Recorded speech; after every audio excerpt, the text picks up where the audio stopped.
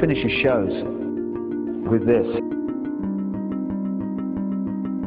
Life's like a ride in an amusement park. And when you go on it, you think it's real. because that's how powerful our minds are. And the ride goes up and down and round and round. It has thrills and chills, and it's very brightly colored. And it's very loud. And it's fun for a while. Some have been on the ride for a long time and they begin to question, Is this real, or is this just a ride? And other people have remembered, and they come back to us and they say, "Hey, don't worry. Don't be afraid ever.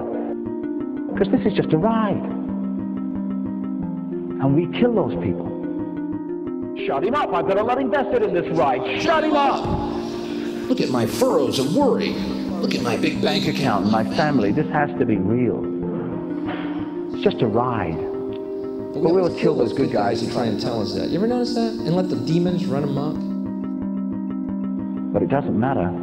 Because it's just a ride. And we can change it anytime we want. It's only a choice. No effort, no work, no job, No savings of money. Just a choice right now between fear and love.